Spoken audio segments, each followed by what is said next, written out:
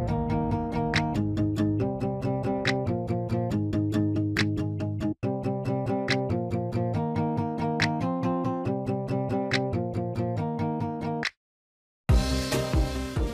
สวัสดีค่ะ วันนี้เราจะมาคุยกันเรื่องของค่าสินไหมทดแทนที่ร่วงพ้นอายุความ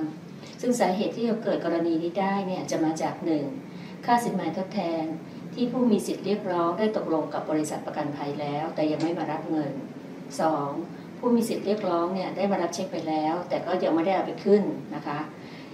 เงินสินไหมทดแทนนี้จะอยู่ที่บริษัทประกันวินาศภัยเป็นระยะเวลา 2 ปี และเมื่อครบ 2 ปีแล้ว นับแต่วันเกิดเหตุ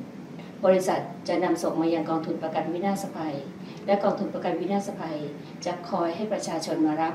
เงินจำนวนนี้ไปเป็นระยะเวลา 10 ปีค่ะ